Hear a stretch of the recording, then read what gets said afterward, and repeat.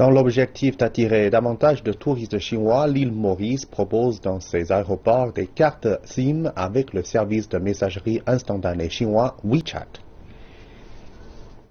Les deux premiers bénéficiaires de cette offre sont arrivés à l'île Maurice mardi. Ils ont été accueillis par le vice-premier ministre du pays et également par l'ambassadeur de Chine à Maurice.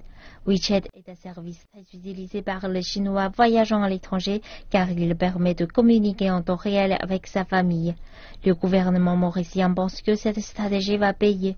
Les premiers visiteurs ont reçu gratuitement des cartes SIM avec 1 gigabit d'espace pour WeChat, 200 mégabits pour les autres services et 5 dollars d'appel prépayés.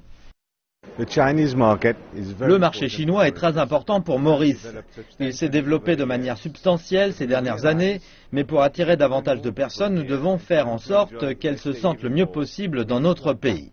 C'est à nous de nous adapter aux besoins des touristes chinois. Notre ambassade accorde une grande valeur au développement du tourisme entre la Chine et Maurice. Nous estimons que dans le domaine de la coopération sino-africaine, le tourisme est un marché émergent. Et grâce à la coopération touristique, nous pouvons faire en sorte que l'amitié entre la Chine et l'Afrique soit encore plus profonde. À Maurice, les touristes chinois peuvent voir toute la beauté de l'Afrique et de son côté, Maurice peut voir les effets de la réforme et de l'ouverture chinoise à travers ses ressortissants.